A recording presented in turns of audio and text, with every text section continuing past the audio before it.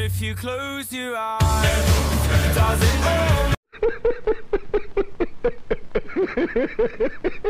This is an outro. Please Chabakaraib.